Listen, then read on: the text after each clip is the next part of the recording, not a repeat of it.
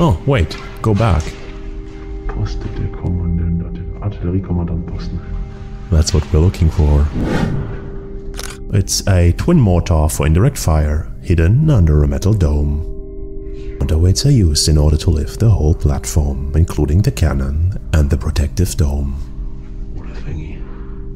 When the gun isn't needed anymore, it is rejected back into the ground. The full video is on my YouTube channel.